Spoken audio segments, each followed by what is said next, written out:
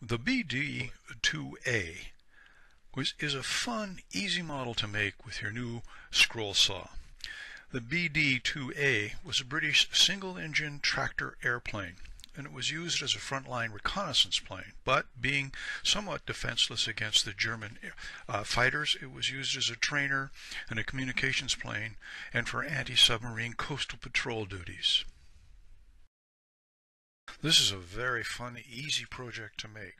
The full colored patterns are printed on 8.5 by 11 paper. You just stick the scroll saw patterns on an 8.5 by 11 1 8 1 8 of an inch thick masonite and cut out using your scroll saw. The scissor patterns are then cut out with scissors and pasted on the pieces you've previously cut out on the, on the scroll saw.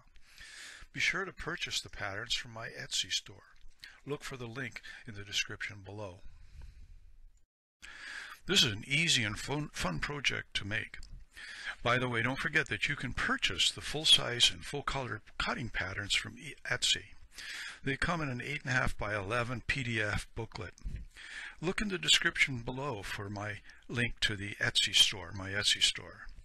Um, and by all means, uh, be aware that there are more models coming, so stay tuned.